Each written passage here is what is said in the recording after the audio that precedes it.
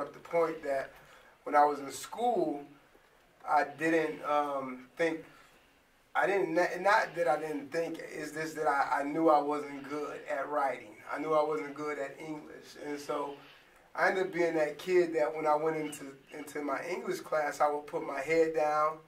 I would, um, I would act like I was sick, you know what I mean? Because I, I had this major fear of reading aloud. I don't know if y'all ever, if you ever, if that's ever happened to any of y'all, but you know, when I would go, when I would just the thought about reading aloud would make me stutter, would make me fumble, and all of those different kind of things. And so um, I went most of my time in school just trying to um, avoid that. You know what I mean? I, I, anytime I would go into any kind of reading class, and so if you could imagine, that would make me suffer when it came to all of my other work too, because I wasn't going to be at home reading when that was the very thing that brought me the most discomfort, you know. And uh, it, it took me to when I was about, I think maybe 25 years old, where, where I, I got over that. And it wasn't that I couldn't read, it was just that I had this, this complex about reading out loud. And a friend of mine, we ended up doing Bible study together. And when we did Bible study together, you know, she, she didn't laugh, she didn't snicker, you know, she didn't make any kind of, she just made me feel real comfortable. And before you knew it, I had came out of my shell. And so um, that was one of the biggest things that, that, that, that, that, um, that, that, that really helped me to, to overcome that. You know what I mean? Really uh, um, leaving myself vulnerable uh, to another person. That was one of the major things because I had to leave myself vulnerable for that person to that person, which I hadn't done in years, because I was always busy trying to hide, trying to get away from reading out loud and things of that sort. Um, but I, I, think I moved in a little quick. I want to ask first of all, do, does anybody in here have any like ambitions on being a writer or writing anything? You do? Okay, so so do you write now? Do you actively write now? Um, I'm not currently working on. Okay. Do you journal? All right. So, and and, and, and so um, I, I I wasn't there. You know what I mean? Like I, I didn't want to be a writer. It wasn't something that I had set out to do. Um, but when I got this idea, the idea came and it was it came so strong. And I believe we all have like something in us, you know what I mean? We have a, a we have content that we should provide. I always tell people get your content out. If it if it if it's writing, if it's uh, something through YouTube, if it's something through your social media, everybody has a story. Everybody has something that they need to say, and and as as long as you keep that content in, it, it will never be able to help who, who who it's supposed to help. And so what happened to me was here it is this idea that's just sitting right in front of me, and I'm like, okay, what am I going to do with this idea? Only thing I knew is I said, you know what, my sister, she loves to write. You know what I mean? Um, she went to school to be a journalist. Uh, you know, this is right up her, her, her field. So let me go to my sister and tell her about this idea that I have. And I said, hey, I want you to write this. It has to be done. And she said, okay, you know, I'll do it. And so we brainstormed, we came up with a couple things. The next thing you know, uh, it, it wasn't getting done. So I kept coming and I kept coming. And this is like over a year's time. And so finally, I just said, okay, you know, I felt like God was telling me because I'm a believer. I don't know what y'all all believe, but I believe I, am I'm, I'm a believer, and I believe that this was something that was put in put in me uh, from from from from God. And so I said, okay. So I felt I, I heard like you know this is something that you're supposed to do, and so I started to do it. And now the next challenge is is um, you don't know anything about writing. you know, you don't know all the little tricks. You don't know all you this and that. You know what I mean? And these were the kind of things that continue to try to hold me back to, to stop me from doing it.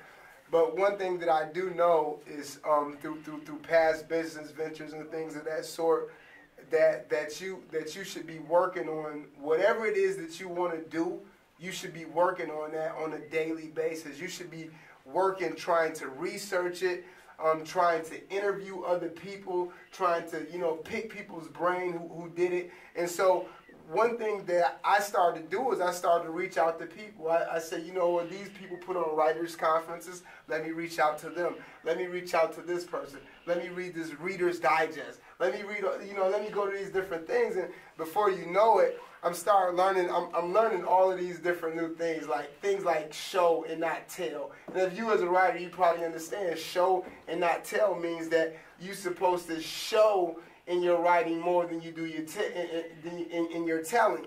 See, what happens is for most people, we try to tell the story and we, we tell it, but if you could show it, if you could put it into action form and show it. So that was one of the major things that I picked up right away. And um, and, and, and, and this started to become more exciting for me.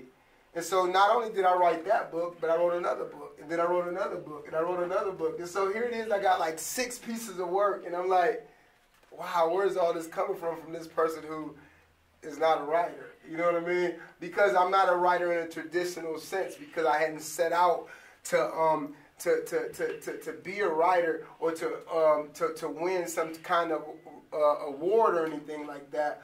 But all of this, all of this that was in me, all of this content that was in me, each and every one of y'all have a story. Each and every one ha- has content. You know what I mean? If you if you just go back and you start thinking about your life and thinking about the things you've experienced, you know, you could write tons of books. You know, and, and, and those books can help somebody.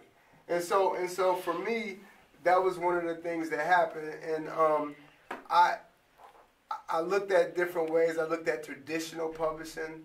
You know, um, I, I, looked at um, the, the, the, pros and cons of traditional versus self-publishing. I learned that self-publishing was um, a great way to go in, in, in, today's climate because of what Amazon has done in the publishing field and things of that sort. And so what I so my next step, I said, okay, because I'm a businessman. I've owned my own businesses. I ran my own business.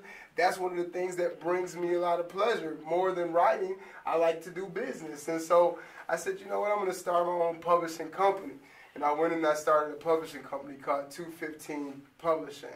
At 215 Publishing, I had to research more, so I had to dig more. I had to go into the LLC, the Legal Legal Li- Liability Corporation, and, and, and and before you know it, it was just all set up and it was sitting there and it was ready to go.